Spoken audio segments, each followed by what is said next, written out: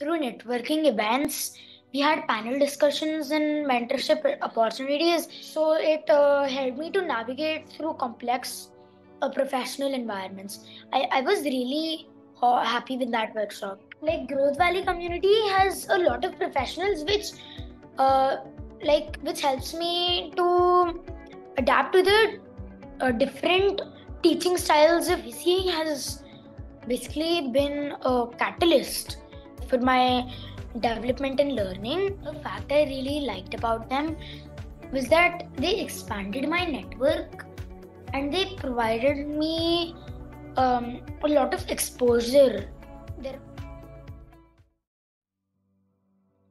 Through networking events we had panel discussions and mentorship opportunities so it uh, helped me to navigate through complex uh, professional environments I, I was really uh, happy with that workshop like growth valley community has a lot of professionals which uh, like which helps me to adapt to the uh, different teaching styles of VCA has basically been a catalyst for my development and learning. A fact I really liked about them was that they expanded my network and they provided me um, a lot of exposure.